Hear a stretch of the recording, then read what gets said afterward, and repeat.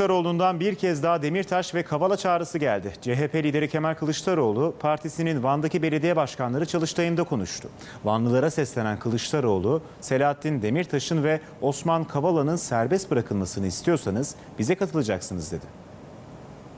Vanlılara bir iki şey söyleyeyim. Bu bölgede huzur içinde yaşamak istiyorsanız bize katılın.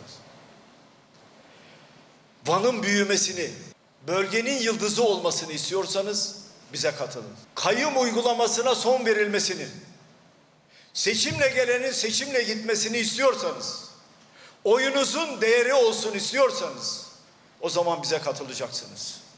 Düşüncesini ifade etti diye hapse atılan kişilerin ya da düşüncesinden ötürü hiç kimsenin hapse atılmasını istemiyorsanız, Selahattin Demirtaş'ın serbest bırakılmasını istiyorsanız, Osman Kavala'nın serbest bırakılmasını istiyorsanız bize katılacaksınız.